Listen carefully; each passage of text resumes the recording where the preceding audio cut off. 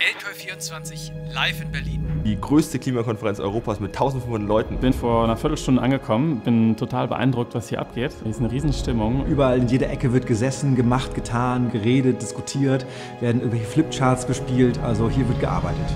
Die LKO allgemein ist eine Klimakonferenz für junge Menschen von jungen Menschen. Wir versuchen hier junge Menschen aus ganz Deutschland und darüber hinaus, ich glaube aus acht oder neun weiteren Ländern dieses Jahr, zusammenzubringen. Ein Austausch schaffen zwischen allen Stakeholdern, die wir bei der Transformation zur Klimaneutralität brauchen. Wir wollen außerdem Wissen vermitteln, wie man die Transformation gestalten kann, um selbst einen Beitrag zu leisten. Wir haben hier auch Menschen, die ganz konträre Meinungen haben auf dieser Konferenz und die sollen sich austauschen und eine gemeinsame Lösung finden, weil Klimaschutz geht nur gemeinsam. Ich glaube, die größte Herausforderung, vor der wir gerade stehen, ist, dass wir verhindern müssen, dass wie in den USA Klimaschutz zu einem Kulturkampfthema wird. Wir müssen Klimaschutz mit den Menschen schaffen. Wir müssen Mehrheiten organisieren für Klimapolitik. Das größte Problem im Klimaschutz ist die Heuchelei.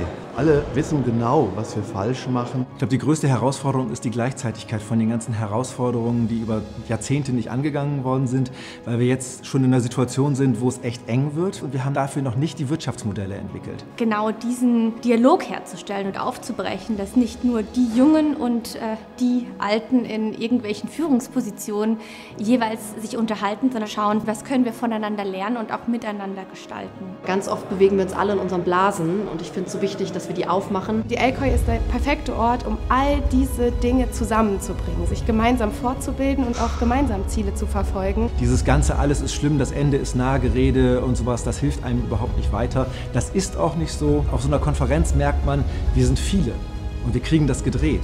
Und diese Zuversicht, die, äh, finde ich, sollte hier jeder mitnehmen. Wir alleine werden die Welt nicht retten, aber wir können Exempel statuieren, wir können eine Vorbildfunktion einnehmen, der Verantwortung müssen wir gerecht werden. Aber die gute Nachricht ist, alles, was wir dafür brauchen, haben wir auf dem Tisch liegen. Auch wenn man manchmal das Gefühl hat, okay, wie können wir das eigentlich schaffen, lasst euch nicht ermutigen. Es gibt super viele Leute, die denken genauso wie ihr. Wenn wir alle an einem Strang ziehen, dann gehen da tolle Sachen hervor.